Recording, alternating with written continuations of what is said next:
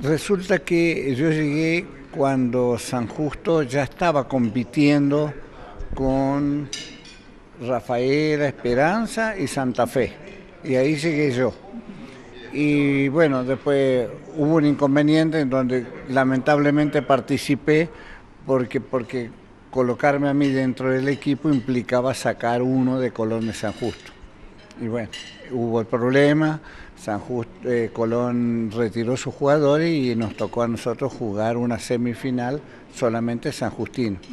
Y para nosotros, que no arrugábamos para nada y para nadie, ni como club, ni como equipo, mm, no fue óbice para que eh, jugáramos contra Chañar Ladeado, que era el equipo del sur de la provincia, que era la semifinal.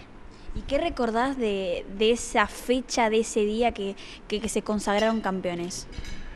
Lo que me impresionó, porque una, hay cosas que uno no, no las recuerda así, o no las tiene en su mente, como decir, eh, yo, a mí me va a tocar pasar esto, no, no, sabíamos.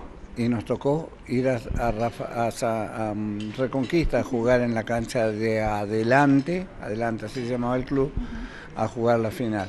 Ya Colón se había reincorporado y jugábamos todos, incluido yo que estaba, había sido suplente hasta ahí. Bueno, ganamos 2 a 1, pero lo más impresionante fue, cosa que no sé si a todos los jugadores le pasa, a los jugadores de nuestro nivel.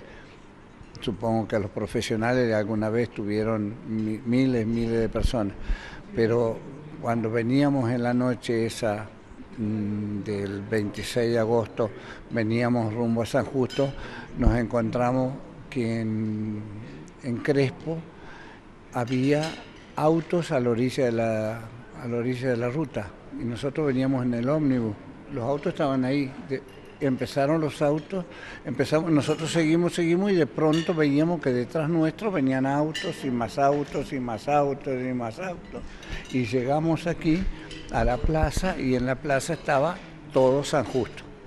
Es decir, recibiéndonos y, y, nosotros no teníamos ni idea de que habíamos habíamos y habíamos eh, producido tal tal efervescencia y sí recuerdo a, mi amigo que falleció estos tiempos al gringo Sonsoni él, él narraba todas las cosas y al otro día me preguntaba cosas y bueno todo eso y nosotros lo escribimos y por ahí tenemos unos, unos cuadernillos que ustedes pueden llevarse. El gringo cuenta, digamos, toda esa historia de cómo fue del día que San Justo no pudo, no, este, eh, San eh, no pudo jugar y, y, bueno, es impresionante como él la narra, como él la revive y, y a mí que soy yo mismo me digo que soy muy querendón de las cosas, me pasó que fue, fue impresionante,